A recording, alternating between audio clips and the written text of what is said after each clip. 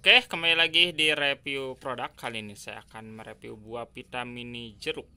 Ya, ini minuman dari buah pita yang ukuran yang kecilnya ya. Harga 4.500. Manfaat buah dari alam. Bulir jeruk asli. Oh, ini cukup menarik. Ya. Sekarang ada bulir jeruk aslinya.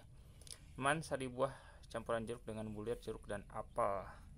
Ya, yang produksi ini masih Ultra Jaya Milk ya. Cuma yang uh, pemiliknya Unilever ya sekarang ya. Jadi diakuisisi tahun 2007 ya kalau nggak salah. Isi bersihnya 125 ml, 100% vitamin C, berkemasan 125 ml. Dan di sini informasi nilai energi total, energi dari lemak dan sebagainya. Logo Unilever terus di sini ada uh, barcode-nya. Sini buah pita ya.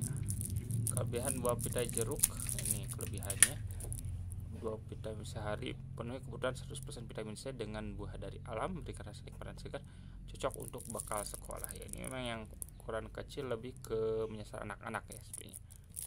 Oke di sini jangan lupa dikocok dahulu sebelum diminum dingin lebih nikmat. Minum dua buah vitamin ini setiap hari. Mungkin ini setengah dari isinya ini ya setengah dari buah pita yang besar ya. Komposisinya air sari buah jeruk dengan bulir jeruk 18,5 1000 apel 16,8 sukrosa maltodextrin pensamin lambat sintetik jeruk. Uh, terus juga ada pemanis alami glukosa steviol vitamin A tanpa pengawet tanpa pewarna sintetik tanpa pemanis buatan. Nah ini kunjungi www.buahpita.co.id untuk resep nikmat buah pita. Ya ini penuhi 100% kebutuhan vitamin seharian. Ini ada barcode nya oke seperti itu dari segi tampilan kemasan buah pita mini jeruk. Ya lalu bagaimana dengan rasanya oke saya akan buka dulu sedotannya. Oke dan saya akan coba rasanya. Oke ini sudah dipakai sedotannya. Kita coba untuk segi rasanya. Hmm. Ya berasa rasa jeruknya menyegarkan. Jadi ini ada seperti bulir jeruknya ya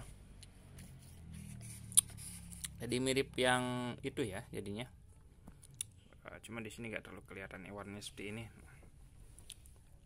Nggak kelihatan ya seperti yang Minute Maid. Ya. Ada bulir jeruk aslinya. Menyegarkan disajikan dingin lebih nikmat direkomendasikan untuk dicoba dari buah vitamin ini jeruknya.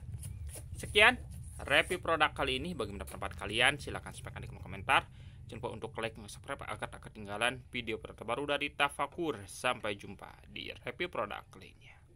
Bye!